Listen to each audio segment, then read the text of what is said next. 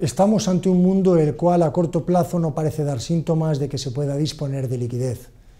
Si a esto le sumamos las declaraciones que llevó a cabo el expresidente del Banco Central estadounidense sobre la significativa retirada de los billones de dólares que se habían introducido como estímulo económico en los mercados internacionales, eso podía causar unos daños imparables sobre la deuda de la periferia europea.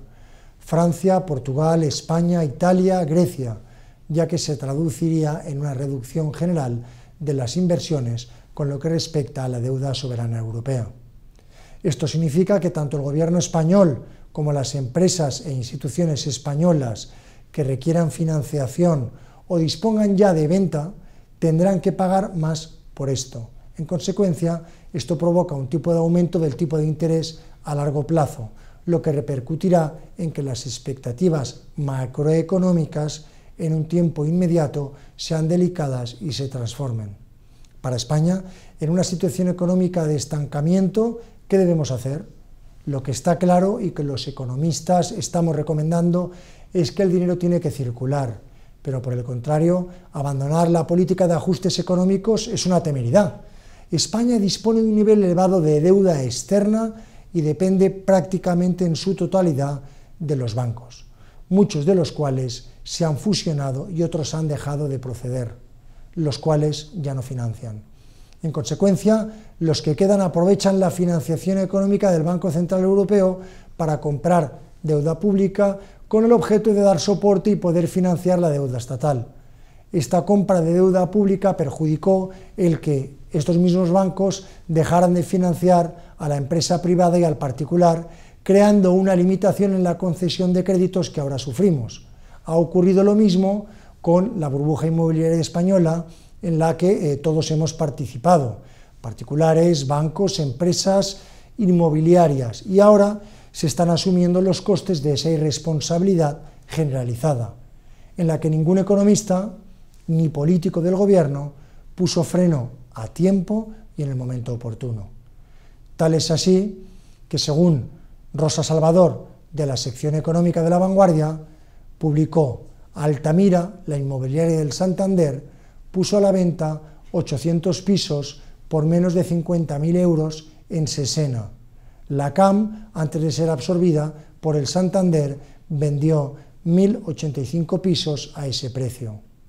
Si ante el problema del paro que estamos viviendo en España si ante los millones de personas que están sufriendo esta tragedia no somos capaces de reaccionar, nuestros políticos eh, y nosotros mismos, y no nos ponemos todos a tirar del mismo carro, si las autoridades de la Unión Europea no son conscientes de este problema y toman las medidas necesarias, es que ni España ni la Unión Europea tienen nada de comunidad y necesitan medidas de shock para salir de su estado de coma. Los políticos españoles, con su mala gestión y con su corrupción, han logrado desacreditar a todo el pueblo español y crear millones de parados. Deberían pedir perdón y acometer las correspondientes dimisiones. Solamente una Europa unida, al menos una eurozona unida, tendrá la oportunidad de evitar que nuestra democracia social se convierta en una democracia enmascarada, regida por las leyes del mercado y el gobierno internacional de las finanzas.